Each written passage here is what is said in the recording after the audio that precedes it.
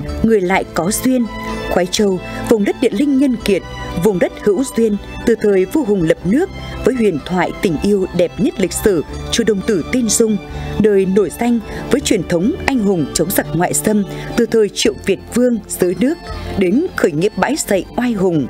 nơi có cây đa giải thị, địa chỉ đỏ thành lập chi bộ đảng đầu tiên của tỉnh Hưng Yên, một vùng đất nổi danh với những giá trị văn hóa truyền thống đặc sắc, vùng đất của sự an lạc yên vui như chính tên gọi của mình, Khoái Châu. Qua nhiều biến đổi thăng trầm của lịch sử, đất và người nơi đây vẫn luôn vươn lên mạnh mẽ, đầy khát vọng để dựng xây một khoái châu trở thành miền quê đáng sống như câu ca muốn sống lâu thì về khoái châu mà ở.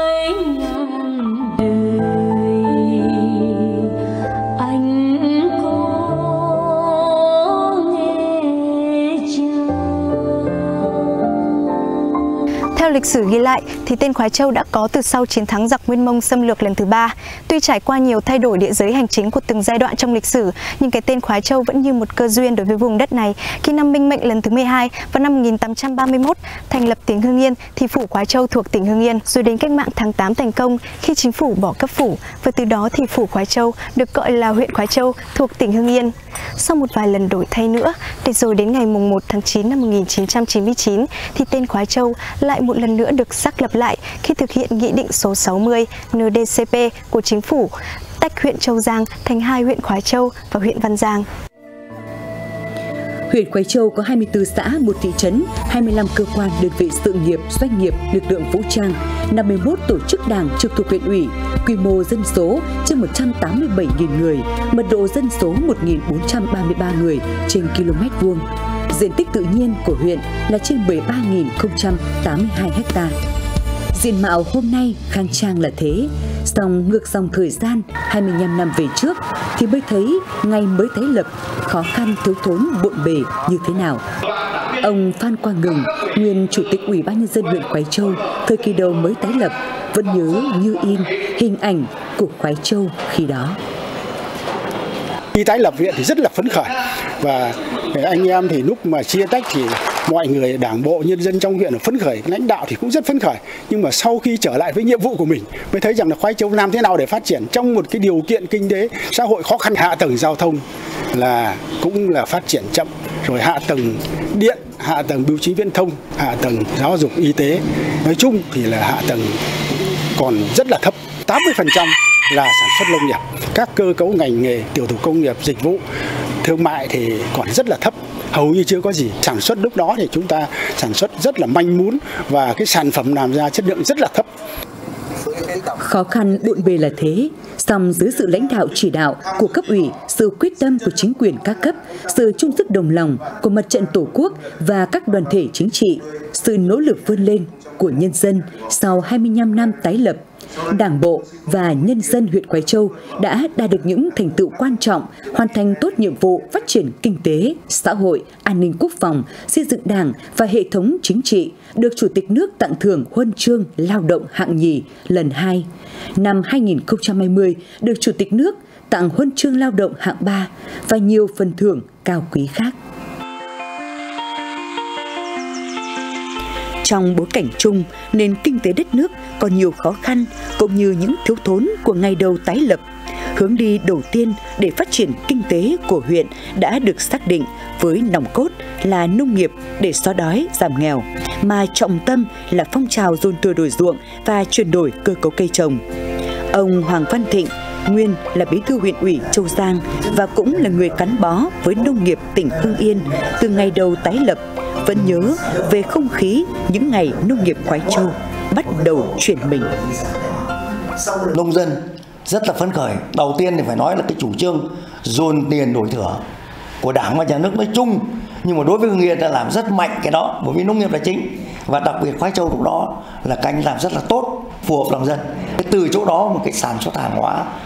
nó thuận lợi hơn, tức là đi vào thực chất, đi vào sản xuất hàng hóa, tức là sản xuất lớn cánh đồng mẫu lớn đã được hình thành là ở chỗ đó.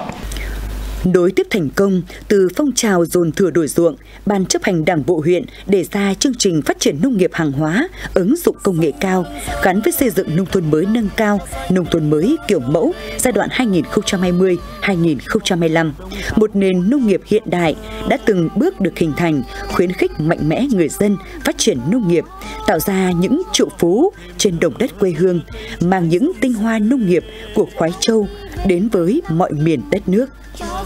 Chăn nuôi chuyển biến rõ nét theo hướng tập trung, an toàn sinh học, ứng dụng kỹ thuật tiên tiến, giảm tỷ lệ chăn nuôi nhỏ lẻ, quy mô nông hộ sang chăn nuôi gia trại, trang trại. Hiện toàn huyện có 4 vùng sản xuất cây ăn quả đã được cấp mã số vùng trồng xuất khẩu có 35 sản phẩm ô cóp, trong đó có 6 sản phẩm đạt 4 sao, 29 sản phẩm đạt 3 sao. 4 thương hiệu đã được Cục Sở hữu trí tuệ cấp văn bằng chứng nhận, đó là các nhãn hiệu tập thể gà Đông Tảo, Mộc Đại Tập, chuối Tiêu Hồng Quái Châu, Nghệ Trí Tân. Từ nông nghiệp đã ghi dấu nhiều nông sản của Quái Châu vượt biên vươn tầm quốc tế. Từ nông nghiệp xuất hiện những triệu phú, tỷ phú nông dân, thu nhập hàng tỷ đồng hàng năm làm cây và con giống cũng kiếm được từ 500 triệu trở lên đến 1 tỷ. Mình vẫn là nghĩ là nghề nông nghiệp là nghề bền vững nhất. Diện mạo nông thôn đổi mới từng ngày cùng với sự phát triển của chương trình xây dựng nông thôn mới. Đến nay đã có 24 trên 24 xã đạt chuẩn nông thôn mới, 15 trên 24 xã đạt chuẩn nông thôn mới nâng cao, 6 trên 24 xã đạt chuẩn nông thôn mới kiểu mẫu, có 23 thôn được công nhận khu dân cư nông thôn mới kiểu mẫu. Nông thôn Quái Trông ngày càng nhiều biệt thự, nhiều sinh cơ của những người nông dân chân đất, linh hoạt, giỏi giang. Từ một huyện thuần nông, năm 1999 chưa có dự án đầu tư vào địa bàn. Những năm qua, huyện đã làm tốt công tác giải phóng mặt bằng, thu hút đầu tư, được 99 dự án đầu tư vào huyện đã được Ủy ban nhân dân tỉnh giao đất, cho thuê đất và 204 dự án trong kế hoạch sử dụng đất năm 2024 đã được tiếp nhận và đang hoàn thiện các thủ tục về đất. Điều đáng nói là các doanh nghiệp gắn bó với huyện sau nhiều năm đều đã phát triển mạnh, mở rộng quy mô sản xuất, đóng góp cho ngân sách của địa phương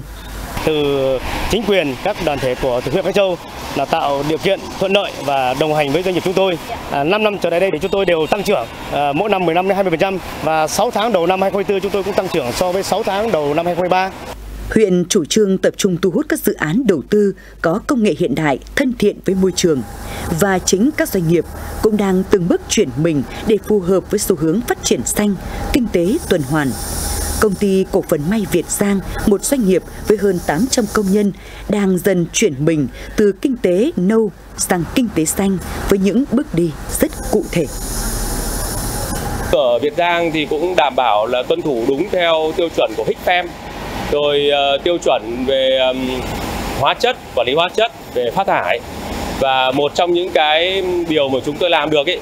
là đã quản lý nguồn nước tốt để tiết kiệm nước uh, tối đa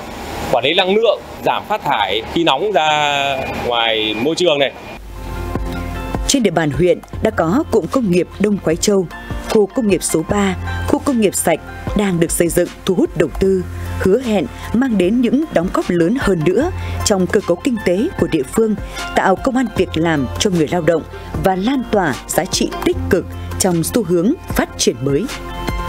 Nếu như tổng giá trị sản xuất tiêu thụ công nghiệp năm 2000 đạt 42 tỷ 240 triệu đồng, đến năm 2019 đạt 1.213 tỷ đồng, năm 2023 đạt 1.919 tỷ đồng, tăng khoảng 45 lần so với thời điểm tái lập huyện. Cùng với đó, thương mại dịch vụ có bước phát triển đáp ứng tốt nhu cầu về sản xuất kinh doanh và phục vụ đời sống nhân dân. Các loại hình dịch vụ vận tải, du lịch, khách sạn, nhất là mạng lưới, viễn thông tiếp tục phát triển mạnh cả về quy mô và chất lượng dịch vụ người dân được thụ hưởng những dịch vụ đa dạng phục vụ mọi mặt của đời sống hiện đại, văn minh. Sau 25 năm, giá trị sản xuất thương mại dịch vụ trong cơ cấu kinh tế tăng từ 26,54% năm 1999 lên 38,35% năm 2019. Năm 2023 là 41,04%. Đây là những bức thư lời cảm ơn từ đáy lòng của rất nhiều người dân ở các địa phương gửi đến các cấp chính quyền, đặc biệt là huyện Khói Châu trước sự đầu tư của tỉnh, của huyện về hệ thống cơ sở hạ tầng địa phương như đường giao thông, dự án, khu dân cư giúp cho đời sống của người dân phát triển vượt bậc. Ngày trước thì cứ thường gọi với nhau đây là con đường đất. Nên nó là con đường đất. Sống quá khổ. Quá khổ ở chỗ là nắng thì bụi mưa thì sân nhà đầy bùn đất. Được ờ, đảng, chính quyền các cấp đã xây dựng cho chúng tôi cái tuyến đường ờ, DH51 bằng vật liệu cứng bê tông.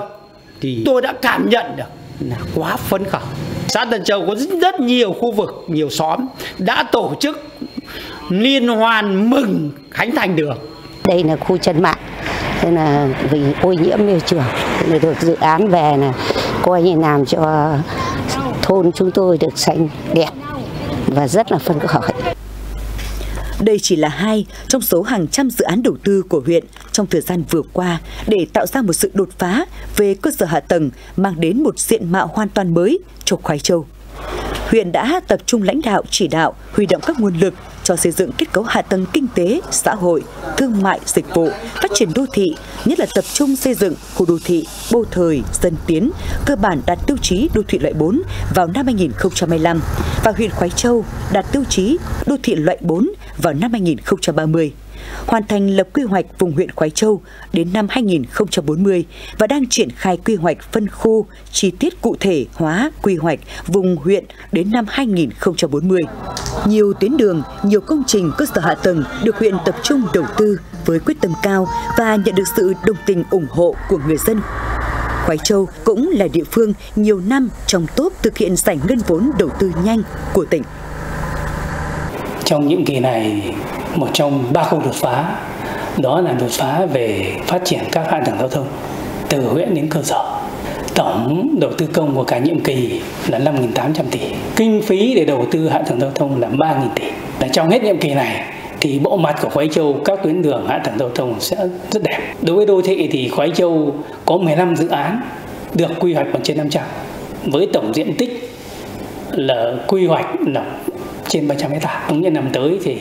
khoai Châu sẽ phát triển rất toàn diện. Trong tương lai, khoai Châu sẽ phát triển trở thành thành phố vào năm 2037 và trở thành thị xã năm vào 2030. Và để đạt được điều đó thì phải quan trọng nhất đó cái bước đó là thu đầu tư. Thứ hai đó là nguồn lực. Ngoài nguồn lực đất đai, tài chính đó là nguồn lực con người và công tác cán bộ để tổ chức triển khai thực hiện các nhiệm vụ của tỉnh ủy, ủy ban tỉnh, hội đồng dân tỉnh giao cũng như nhiệm vụ của huyện ủy, hội đồng thực hiện giao khơi dậy cái khát vọng khát vọng Quái Châu trở thành thị xã, trở thành thành phố như là hoạch định của tỉnh. Diện mạo của một đô thị văn minh hiện đại đang tiếp tục được dựng xây với một loạt các dự án đã được quy hoạch chi tiết 1 trên 500. Nơi đây không chỉ thu hút người dân trên địa bàn mà trong tương lai, nhất là khi con đường kết nối di sản được hình thành, thì đây chính là điểm thu hút cộng đồng dân cư ở nhiều nơi về với Khoái Châu. Đúng như câu ca, muốn sống lâu thì về Khoái Châu mà ở. Người dân Khoái Châu vẫn luôn tự hào về truyền thống của quê hương hiếu học. Phát huy truyền thống đó, ngành giáo dục và đào tạo huyện đã có nhiều đổi mới, đạt kết quả tích cực trong thực hiện chuẩn hóa, hiện đại hóa giáo dục. Tính đến hết tháng 6 năm 2024, có 57 trên 65 trường công lập đạt chuẩn quốc gia, đạt tỷ lệ 87,7%. Công tác sát nhập các đơn vị giáo dục đã đạt được những kết quả rất đáng ghi nhận, là một yếu tố quan trọng để tiếp tục thực hiện đổi mới giáo dục tính đến thời điểm này nếu như mà tính cả hai đơn vị thực hiện trong năm 24 thì là số đơn vị thực hiện sát nhập là 34 đơn vị và giảm 17 đầu. Bên cạnh việc à, tập trung vào giáo dục kiến thức cho học sinh thì về phía phòng cũng tập trung chỉ đạo các nhà trường dạy và học liên quan đến các cái nội dung về giáo dục đạo đức, giáo dục lối sống, giáo dục kỹ năng sống, giáo dục về an toàn giao thông, giáo dục về phòng chống tai nạn thương tích, vân vân nhằm gọi là phát huy tính chủ động, sáng tạo, năng động của học sinh và là hướng tới là giáo dục ừ, toàn diện cho học sinh trong cái giai đoạn đổi mới giáo dục hiện nay. Cùng với giáo dục, cơ sở vật chất, đội ngũ cán bộ y tế được tăng cường về số lượng và chất lượng, đảm bảo thực hiện tốt công tác bảo vệ chăm sóc sức khỏe nhân dân, tiếp tục thực hiện tốt các chương trình mục tiêu quốc gia về y tế, duy trì 24 trạm y tế xã đạt chuẩn quốc gia về y tế, tỷ lệ bao phủ bảo hiểm y tế đến năm 2023 đạt 94%. Người dân được thụ hưởng những dịch vụ chăm sóc sức khỏe hiện đại ngay tại địa bàn. Sắp tới thì Bệnh viện nhiệt đới Trung ương cũng sẽ hỗ trợ trung tâm về mặt kỹ thuật để điều trị cho các bệnh nhân viêm gan trên địa bàn huyện. Cái thứ hai là chạy thận nhân tạo thì các cán bộ của trung tâm cũng đã đi học và dự kiến cuối năm nay thì chúng tôi sẽ đưa dịch vụ này vào hoạt động. Những năm qua, các chính sách an sinh xã hội được quan tâm, chăm lo đầy đủ và kịp thời. Việc chăm sóc người có công với cách mạng và trợ giúp đối tượng bảo trợ xã hội được duy trì và mở rộng. Phong trào đền ơn đáp nghĩa, uống nước nhớ nguồn được triển khai thực hiện đồng bộ, kịp thời. Tỷ lệ hộ nghèo năm 2023 còn 0,86%, năm 2024 dự kiến còn khoảng 0,65% kinh tế phát triển, xã hội ổn định, công tác quốc phòng, quân sự địa phương được thực hiện toàn diện. Đặc biệt, thời gian qua, huyện đã tăng cường quản lý nhà nước về an ninh trật tự, triển khai thực hiện có hiệu quả đề án 06 của chính phủ. Bộ máy chính quyền các cấp được kiện toàn theo hướng tinh giảm, hiệu quả, quy chế dân chủ ở cơ sở được phát huy, quyền làm chủ của nhân dân được tôn trọng, cải cách hành chính được đẩy mạnh, kỷ luật kỷ cương trong các cơ quan hành chính nhà nước được thực hiện nghiêm huyện cũng đã khởi công xây mới các trụ sở công an xã. Đến nay, đã đưa vào sử dụng 5 trụ sở tạo điều kiện thuận lợi cho lực lượng công an tốt nhiệm vụ giữ vững an ninh chính trị, trật tự an toàn xã hội tại địa phương. Những năm qua, huyện luôn quan tâm gìn giữ và phát huy bản sắc văn hóa truyền thống, nâng cao đời sống văn hóa tinh thần của nhân dân bằng nhiều cách làm khác nhau. Phong trào toàn dân đoàn kết xây dựng đời sống văn hóa ngày càng phát huy hiệu quả thiết thực. Đến nay, toàn huyện có 100 trên 105 làng đạt danh hiệu làng văn hóa, đạt tỷ lệ 95,2%, tỷ lệ gia đình văn hóa đạt 92,5%. Toàn huyện có 56 di tích được xếp hạng, trong đó 27 di tích xếp hạng cấp quốc gia, 29 di tích xếp hạng cấp tỉnh và hai lễ hội được đưa vào danh mục văn hóa phi vật thể quốc gia, lễ hội Chư đông Tử Tiên Dung của xã Bình Minh và Dại Trạch. Các thiết chế văn hóa, thể thao ngày càng phát triển, chỉ một khu dân cư như thôn Yên Vĩnh, xã Dại Trạch đã có tới 8 địa điểm sinh hoạt văn hóa thể thao công cộng. Ngày xưa đối với ờ, cái ờ, môn tennis này thì anh em chỉ biết ừ, thành lập câu bộ và đánh đi đánh nhờ thôi. Nên cũng chưa nghĩ đến sau này có chân tennis như sau đến à, năm 2023 à, thì xã hội hóa rồi mà mới xây được cái sân này. Nó giá trị cũng khoảng gần 800 triệu. Khoái Châu đã quan tâm tu bổ hàng loạt các di tích lịch sử văn hóa, công trình kiến trúc nghệ thuật. Gần đây nhất là dự án trùng tu tôn tạo khu di tích nhà thờ bà Hoàng Thị Loan, thân mẫu Bác Hồ tại xã Hồng Tiến, đường vào khu di tích cây đa Sài Thị, nơi thành lập chi bộ đảng đầu tiên của tỉnh. Trước đó là đền thờ Triệu Việt Vương và rất nhiều công trình khác đã được xây dựng khang trang, bể thế. Các giá trị văn hóa phi vật thể của địa phương như hát chống quân luôn được quan tâm, truyền dạy và lan tỏa tất cả đã và đang góp phần gìn giữ phát huy truyền thống văn hóa lịch sử địa phương cho thế hệ hôm nay và mai sau. Tới đây, khi con đường kết nối di sản được hoàn thành, Khoái Châu sẽ còn hứa hẹn nhiều tiềm năng phát triển về văn hóa, du lịch tâm linh, tín ngưỡng, vừa có phần bảo tồn, vừa phát huy những giá trị văn hóa bản địa trong ngành công nghiệp không khói. 25 năm, một chặng đường chưa dài, nhưng những con số biết nói sau đây sẽ minh chứng cho sự đổi thay toàn diện trên mảnh đất Khoái Châu, đưa nơi đây trở thành miền quê đáng sống. Thu nhập bình quân đầu người tăng 22,6 lần, năm 2023 đạt trên 88 triệu đồng. Từ không có dự án nào, sau 25 năm tái lập đã thu hút được 99 dự án đầu tư vào huyện, đã được Ủy ban Nhân dân tỉnh giao đất, cho thuê đất và 204 dự án trong kế hoạch sử dụng đất năm 2024 đã được tiếp nhận và đang hoàn thiện các thủ tục về đất đai. Giá trị sản xuất công nghiệp và xây dựng tăng bình quân 9,07% năm, giá trị thương mại dịch vụ tăng bình quân 10,56% năm, thu ngân sách tăng 176,5 lần. Cơ cấu kinh tế chuyển dịch tích cực theo hướng tăng tỷ trọng công nghiệp, tiêu thụ công nghiệp, thương mại dịch vụ, giảm tỷ trọng nông nghiệp, có được những kết quả vượt bậc đó chính là do vai trò lãnh đạo của cấp ủy Đảng với những hoạch định đúng đắn qua các nhiệm kỳ cùng sự đoàn kết thống nhất từ ban chấp hành Đảng bộ huyện đến các chi bộ cơ sở và sự gương mẫu đi đầu của các thế hệ đảng viên. Chi bộ sau khi tái lập huyện, Đảng bộ huyện Quái Châu triển khai thực hiện nghị quyết Đại hội Đảng bộ huyện các nhiệm kỳ 21, 22, 23, 24 và 25. Trong bối cảnh có những thuận lợi và khó khăn đan xen, hệ thống chính trị của huyện được giữ vững, ngày càng chuyển biến mạnh mẽ trên cả ba mặt chính trị, tư tưởng và tổ chức. Phương thức lãnh đạo của Đảng tiếp tục được đổi mới, công tác trình đốn, giữ gìn sự đoàn kết trong Đảng được thực hiện thường xuyên, góp phần củng cố lòng tin của nhân dân đối với Đảng. Hoạt động của Mặt trận Tổ quốc và các đoàn thể chính trị xã hội có nhiều đổi mới, hiệu quả hướng về cơ sở, nhiều phong trào thi đua đã được triển khai rộng khắp, góp phần tích cực vào sự nghiệp xây dựng và phát triển của huyện phấn khởi và tự hào về những thành tựu đã đạt được. Với khát vọng vươn lên, khoái châu xác định rất rõ lộ trình phải đi. Đó là tiếp tục xây dựng, hoàn thiện đồng bộ kết cấu hạ tầng kinh tế, xã hội để nhanh chuyển dịch cơ cấu kinh tế, nâng cao hơn nữa giá trị sản xuất để tương xứng với tiềm năng, lợi thế duy trì tăng trưởng bền vững thì à, đạt được các kết quả trên thì à, theo tôi thì thứ nhất là do sự ờ, phát huy cái truyền thống đoàn kết thống nhất của các thế hệ lãnh đạo ờ, trên địa bàn huyện qua các thời kỳ. Đây là một cái ờ, niềm cổ vũ động viên và tạo động lực rất quan trọng cho thế hệ cán bộ lãnh đạo chúng tôi đang thực hiện nhiệm vụ mình được giao. Cái thứ hai đó là mỗi tổ chức đảng và đảng viên đều phát huy cái vai trò trách nhiệm tính ờ, tiền phong, gương mẫu của mình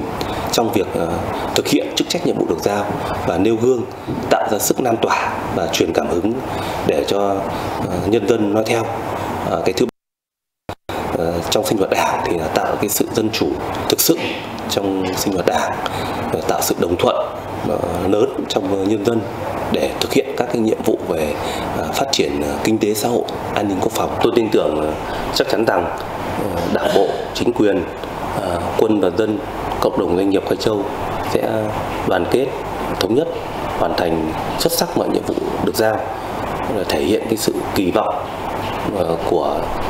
các thế hệ lãnh đạo huyện Khói Châu qua các thời kỳ và sự khát vọng của nhân dân ờ, Khói Châu để xây dựng Khói Châu trở thành miền quê thực sự đáng sống trên địa bàn tỉnh Hưng Yên. Truyền thống văn hóa lịch sử, truyền thống cách mạng của quê hương anh hùng chính là nền tảng vững chắc, là một trong những động lực để Khoái Châu vươn lên và phát triển bền vững. Khát vọng dựng xây của những con người cần cù năng động sáng tạo của phủ khoái khi xưa và Khoái Châu hôm nay sẽ tiếp tục khai phá những tiềm năng, tận dụng thời cơ để vươn mình phát triển. Đường dòng